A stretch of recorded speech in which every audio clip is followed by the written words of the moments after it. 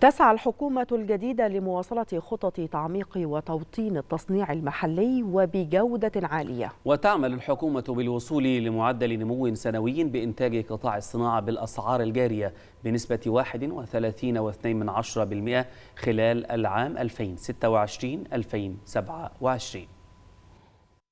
ضمن برنامجها الهادف للارتقاء بمختلف القطاعات وخاصة الإنتاجية، تسعى الحكومة الجديدة لمواصلة خطط تعميق وتوطين التصنيع المحلي بجودة عالية وتنمية سلاسل التوريد المحلية لترشيد الواردات والحد من الاستيراد وتوفير العملة الصعبة. الخطط الحكومية تنطلق من إمكانية الاعتماد على المواد والخامات الأولية الموجودة بالفعل في السوق المحلية أو المصنعة محليًا، بما يسهم في زيادة التشغيل وخلق فرص العمل والحد من البطالة. الدولة وفي طريقها لتحقيق المستهدفات المرجوة من تعميق التصنيع المحلي تسعى للانتهاء من إطلاق الاستراتيجية الوطنية للصناعة وتحسين التجارة والعمل على تحقيق أهدافها بما يسهم في جعل مصر مركزا للتصنيع المستدام ولاعبا رئيسيا في التجارة الدولية. الحكومة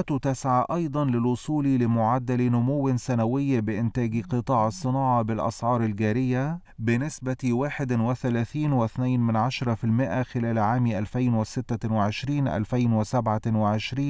والوصول بقيمة الصادرات المصرية إلى نحو 103 مليارات و400 مليون دولار خلال الفترة من عام 2024 و 2026 سبل تعزيز التصنيع المحلي تشمل زيادة التواصل الفعال مع رجال الصناعة والمستثمرين وجذب المزيد من الاستثمارات في ظل تبسيط إجراءات تدشين وتوسيع نطاق الاستثمارات الخارجية في البلاد مع استكمال مخطط إقامة المجمعات الصناعية ومنح مزيد من التيسيرات لتحسين نسب التشغيل والإنتاج ودعم وتأهيل العمالة من خلال تطوير نظم التعليم والتدريب المهني. الوصول للمستهدفات بالقطاع الصناعي لتعزيز الصادرات يشمل أيضا تطبيق المواصفات العالمية للمنتجات من خلال تطوير معايير الجودة ودعم البحث والابتكار وتوفير برامج خاصة لدعم الصناعات المتشابكة قطاعيا والحصر المستمر للمصانع المتعثرة.